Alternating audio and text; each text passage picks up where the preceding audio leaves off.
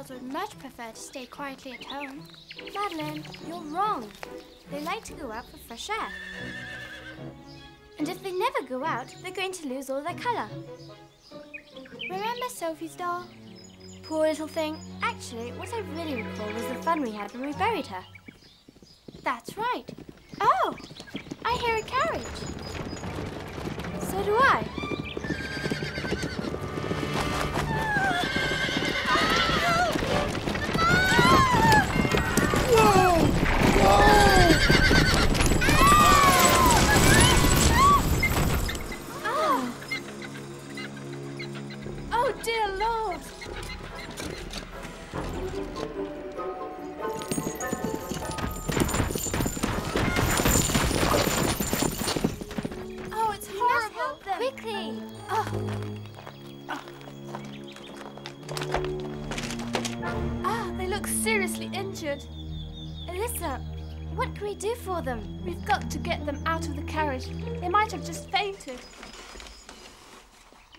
Oh, the poor thing. Oh, We'd better not lie her down on the wet ground. Do you have the strength to carry her over to the bench while I get the woman? oh yes, Alyssa. Give her to us. We'll carry her. Madeleine, help me. I can't, Camille. I want to, but not with all that blood. That's all right. I can do it alone. Gently. Ah.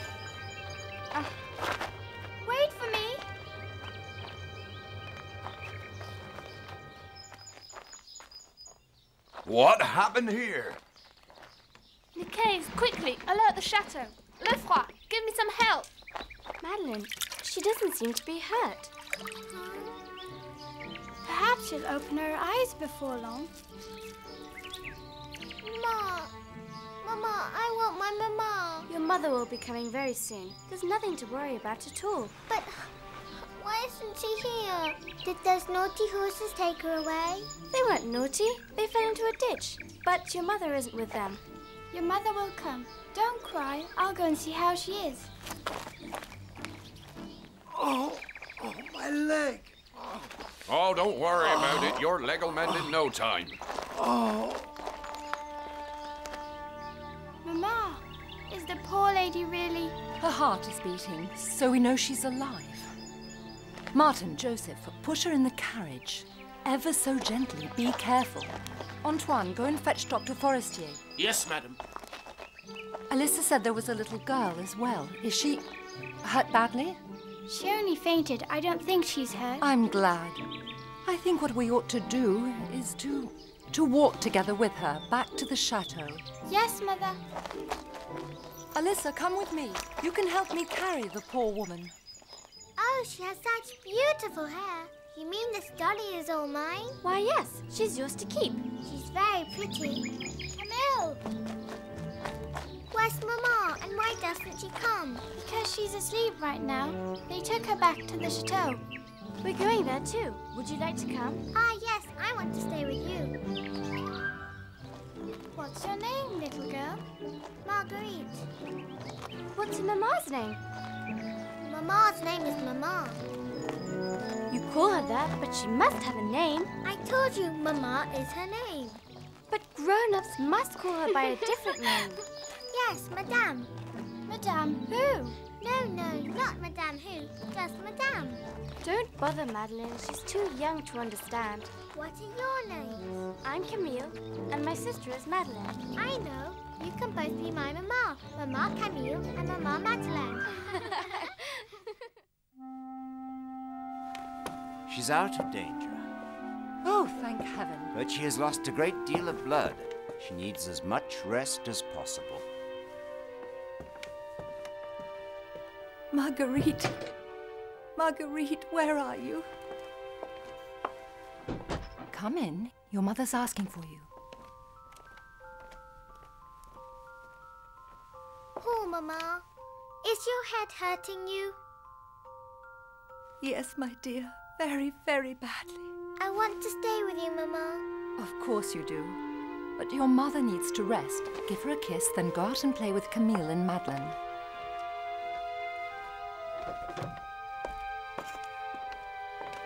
Did you find out her name? I think she's called de Rosbourg. It was engraved on her steamer trunks.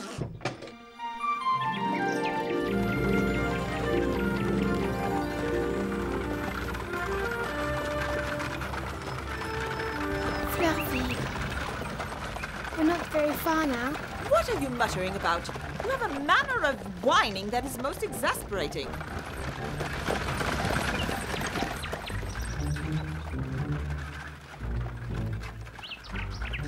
The Chateau de Réan. Yes, yes, we've arrived. I realize that. I don't need you to tell me.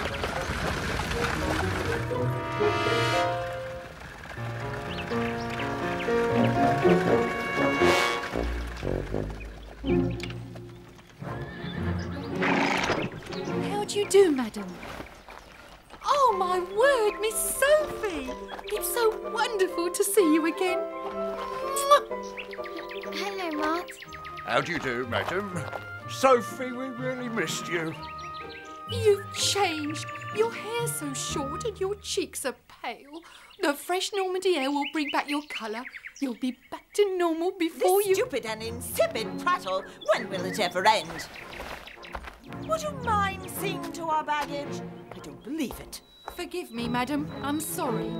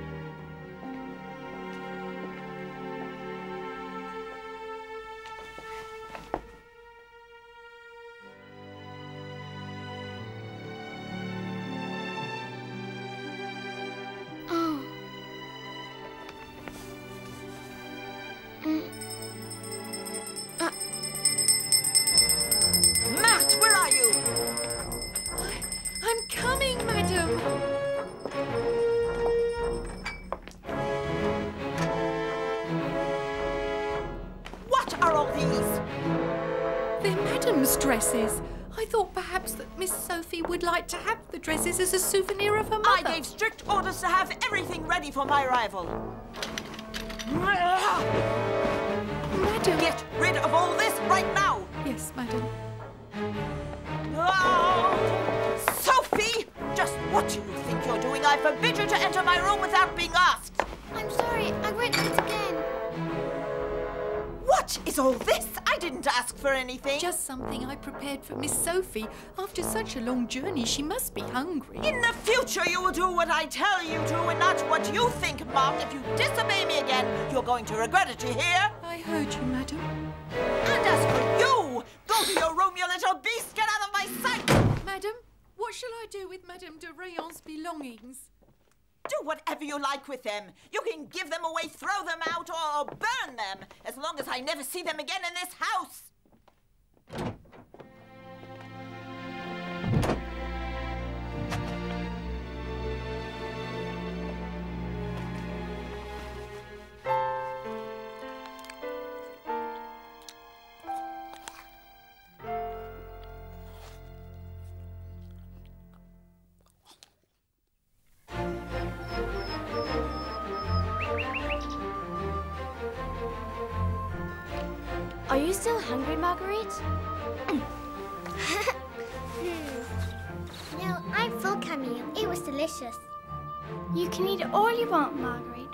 Like. Ah, oh, what beautiful dolls. This one is my size. It's so big. Oh, what cute little doggy. And the rocking horse. What fun. Oh, look at the dishes, the cups, and the spoons. A whole set. Oh, what a lovely little coach. May I please play with it?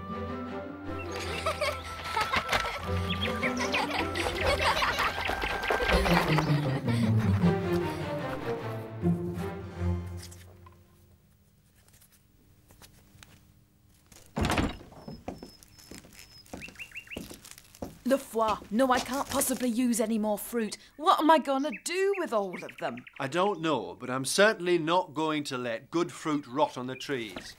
Madame Louchet helped me, since I also had to help with the picking at the de Réans, you know. The chateau is occupied once again. Madame Louchet told me just yesterday.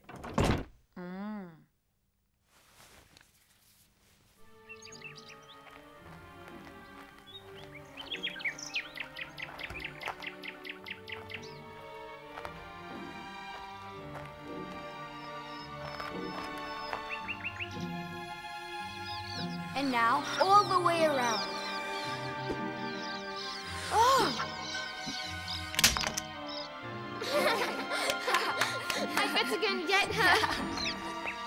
Mm.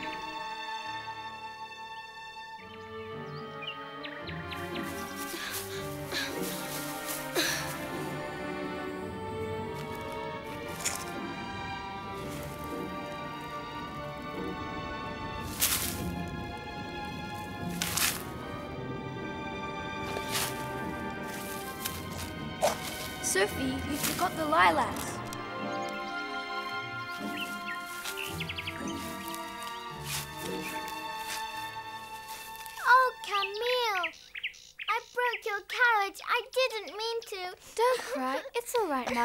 Mother will put in a new piece of glass and it'll be fine. But the passenger's head must hurt like Mama's. No, they've got good solid heads. Here, you see? They're all back in the carriage and they're just fine. Dear Madame de Fleurville, you're so kind and so attentive and caring. I really don't know how to express my appreciation, and I feel I'm taking up all your time without contributing. Your contribution is to get well quickly, my friend.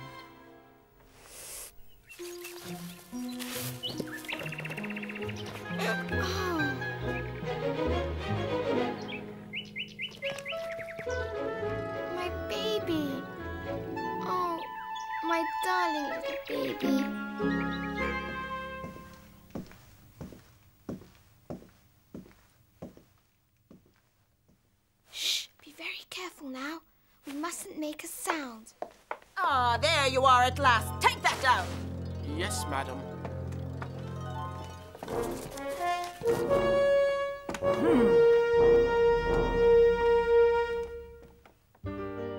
Mama, look who I found.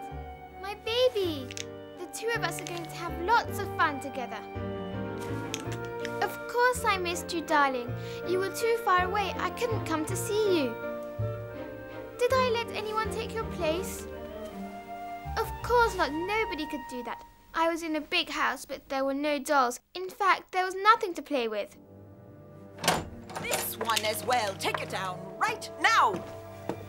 Take down my mother's portrait. No, please, I beg you. Don't take Mama's portrait Ah, away. Pay no attention. Do as I say. Well, go on. No, no, don't take it, no. You are going to learn to obey me. Who do you think you are, young lady? You do not give the orders in this house. I do.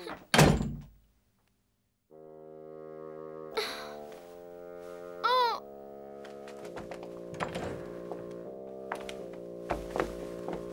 Madame, Madame, tell me, please, what's he going to do with Mama's portrait? Put it with the others down there. That should give you a lesson in obedience. I don't want to hear you mention your parents again.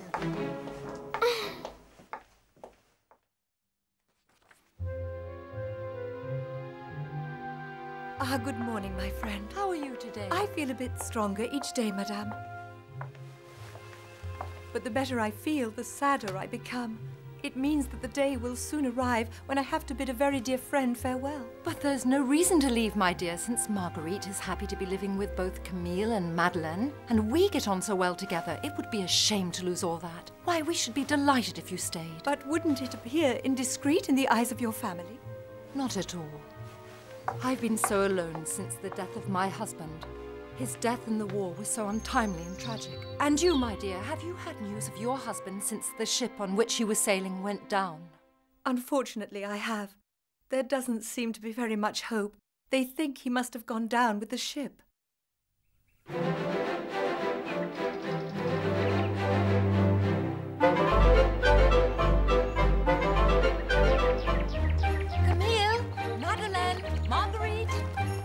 Mama, Mama, you'll never guess what news we've got. Wonderful news. I've got important news too. Would you like to hear mine first? Then you can tell me all about yours. Don't make us wait any longer. We want to know. My news is that Madame de Rosbourg and Marguerite will not be leaving us as we had feared. Mama, do you mean that they're going to live here with us? Yes, Camille. Hooray! Ah! recall, my daughters had some news as well, unless I was mistaken. You weren't mistaken, Mama. We have wonderful news too. It's Sophie. Sophie? Sophie de Réan, Mama. Alyssa just told us that the chateau isn't empty anymore. Madeleine's right. Sophie has returned from America with her stepmother. Oh, Mama, we want so much to see her again. So do I. Well, then, why don't we invite them both to tea? That's wonderful! Hooray! You'll see, Marguerite. You'll like her. We always have fun together.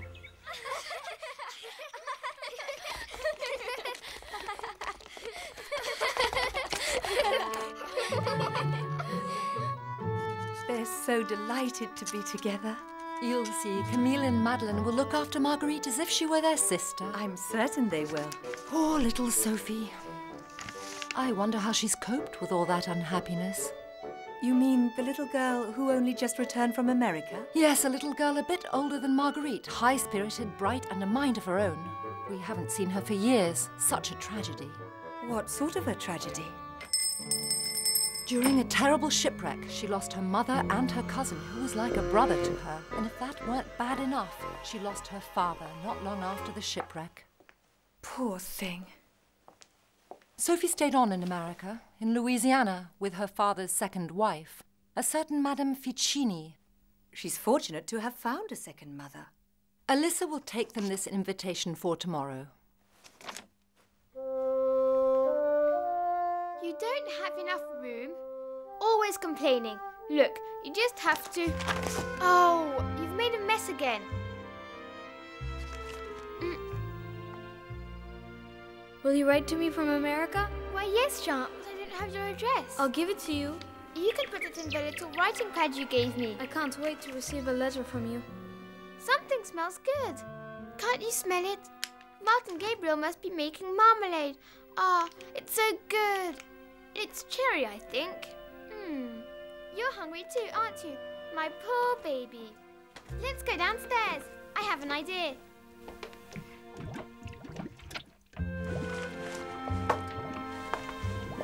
It's ready. How many does that make? There we I are. lost count. Madam will have enough for the entire winter.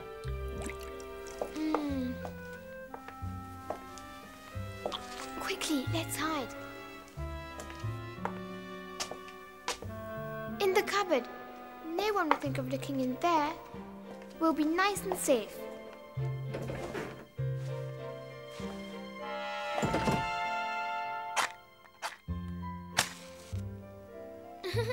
we did it and no one saw us. We're so clever.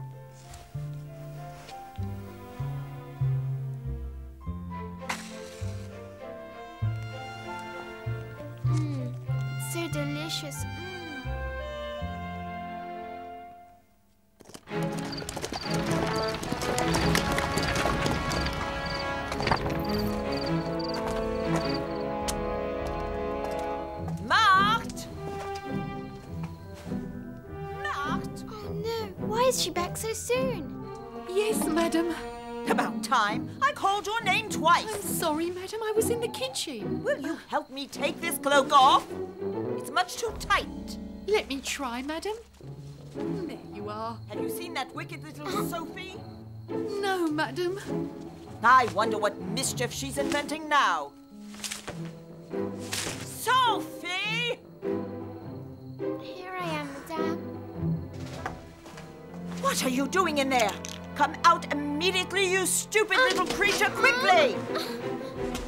What were you doing in there? I want to know. Do you recall my forbidding you to go near that cupboard? Yes, madame. Ah. I told you to call me Mama, but you never listen, do you, you little monster? If I see you in there once more, I shall lock you up in there for three days without food or... An invitation arrived from the Chateau de Fleurville. Really? How nice. Well, give it to me, will you? Here you are, madam. Ah. Hello, Miss Sophie. Hello. My, how you've changed. I barely recognized you. I've been invited to tea by a certain Madame de Fleurville. We have been invited. Go and tell her that we gratefully accept her kind invitation and that we will be there tomorrow afternoon. Have you lost your tongue? In polite circles, it is customary to express one's appreciation. Please, please thank Madame de Fleurville for inviting me. Uh, I'm, uh... Well, at least you have some manners, but after I finish with you, you'll do much better. Goodbye, my Good dear. night, madam. Marthe, would you tell Simon to serve me my dinner? Yes, madam. Tomorrow I must put up with you, you miserable and disobedient monster. Now go to your room before I change my mind.